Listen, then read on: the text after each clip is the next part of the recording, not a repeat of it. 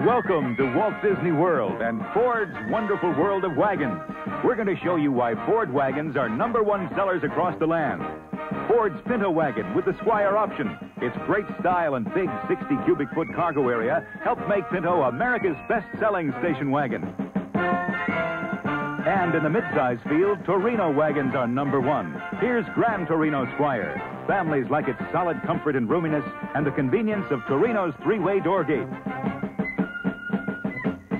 And here come the stars the Ford LTD Wagon and LTD Country Squire. They keep making news with standard features like steel belted radials for long tread life and options like luxurious new interiors, dual facing rear seats, even a recreation table. And look, all these best selling wagons run on regular gas. See the Wagon Master, your local Ford dealer. The closer you look, the better we look. My hogs are better than yours. Oh, yeah? Well, my price bull's better than yours. Them Campbell brothers, always trying to better one another. I catch more fish than you do. Well, I match my pickup against that old thing of yours. In what way? Toughness, ride, comfort. Show. All right, here's my 74 Ford pickup. Beauty, huh? It's okay. Look, nice storage area. It's okay. Let's go. Following scenes are reenacted. All right, now we head across country. No road. See how it takes bump? Yeah, ain't bad. That's because of Ford's twin I-beam front suspension. Yeah? And I got full foam seats, optional air conditioning built right to the dash, optional stereo, and a tough double wall cargo box. Buford, how about Ford's car-like ride? Morning already? Buford, you're home. What'd you think? Well, my hogs are still fatter than yours. Drive the 74 Ford pickup at your Ford dealers now. Works like a truck, rides like a car. Move it. I'm Ara Parseghian. By getting a close-up look at the players in action, I really get to know them. Now I'm going to show you how to look close at a station wagon, the new Ford LTD Country Squire for 1974. The idea is to get your hands on it. Try things out, like Ford's three-way door gate.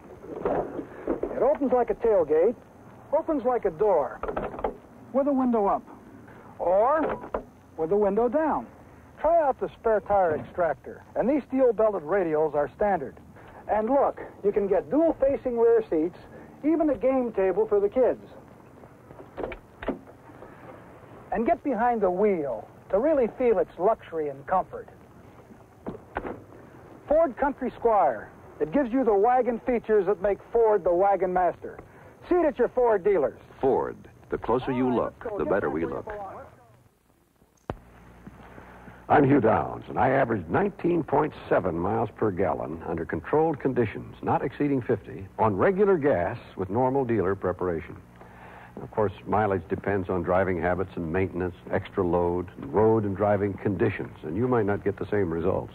You think I had an advantage? You're right.